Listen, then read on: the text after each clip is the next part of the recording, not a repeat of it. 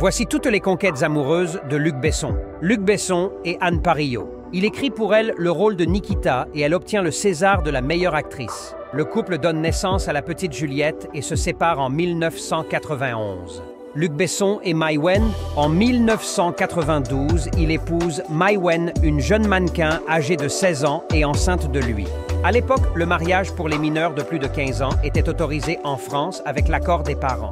Leur fille Shanna naît en 1993. Mais le cinéaste tombe amoureux d'une autre femme sur le tournage du cinquième élément, Luc Besson et Mila Jovovich. Il quitte donc Mai Wen et se marie dans la foulée avec Mila Jovovich. L'actrice est top modèle américaine à 16 ans de moins que Luc Besson. Leur histoire d'amour ne dure que deux ans.